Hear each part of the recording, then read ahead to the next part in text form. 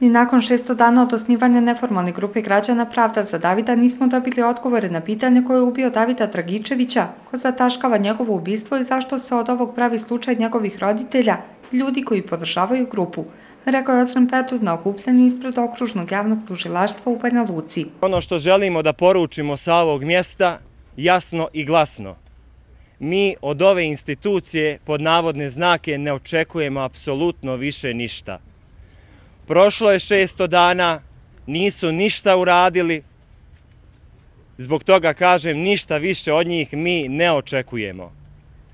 Jedino što tražimo, tražimo je ono što i gospodin Feraget, advokat porodice, uporno govori, da se predmet Davida Dragičevića dostavi tužilaštvu BiH na pregled. Dodatna kriminalizacija pokušana je tom optužnicom koja je podignuta od strane Saše Labotića šest dana nakon pronalaska tijela. Šta se desilo sa tim tužiocem? Zbog pritiska javnosti prije svega, to jeste zbog nas, taj tužilac je udaljen iz tužilaštva, ali kao što smo mogli vidjeti, izgleda da će biti nagrađen prijemom u advokatsku komoru Republike Srpske. Dalje, tužilac Dalibor Vrećo, to je postupajući tužilac u ovom predmetu. Povodom današnjeg okupljanja oglasio se i srpski član predsjedništva Bosne i Hercegovine Milorad Dodik. Istako je da je tužilaštvo ranije trebalo razriješiti ovaj slučaj. To previše dugo traje.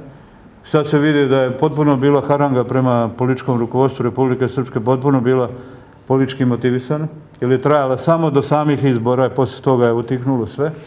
A ostaje obaveza tužilaštva da tu priču uradi. Ja sam nezadovolj način na koji tužilaštvo radi. I to sam javno iznosio i to tužilaštvo zloupotrebljava javni, javno povjerenje i ne, ne, ne čini ništa da javnost obavijesti tako delikatnom pitanju i zato ne zaslužuju mnogi da budu tamo. Ozren Pertov je istakao da 26. novembra počinje prvo suđenje protiv 24 lica članova grupe Pravde za Davida.